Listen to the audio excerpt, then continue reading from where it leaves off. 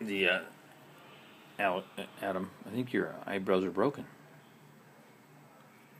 Are they broken? No. Do they work?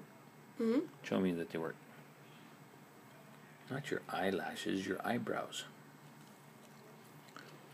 I don't know how to move them. No? Can you move them up and down like this? It's good. Can I go to the park? We can go to the park. Did you know that I was videotaping you just now?